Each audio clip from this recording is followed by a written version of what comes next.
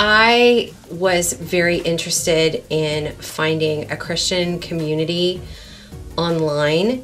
I started looking at different schools that were available.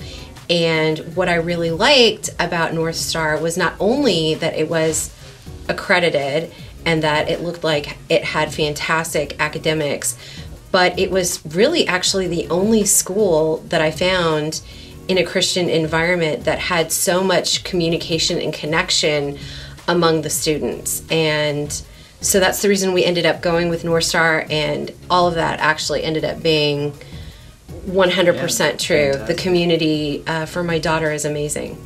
Liddy went to pu- private school for a while, and um, honestly, there was a lot of bullying. She was, you know, um, really wanting to focus on her academics and, and, and schooling itself, and just being around a lot of kids that maybe that wasn't their focus, and just yeah, it was it was it was pretty rough. So this this has been a blessing. Absolutely. And we were concerned at first because it's online. So we wondered if we were trading a bullying environment for a sort of environment that No social. that had no social interaction and it turned out to be the opposite.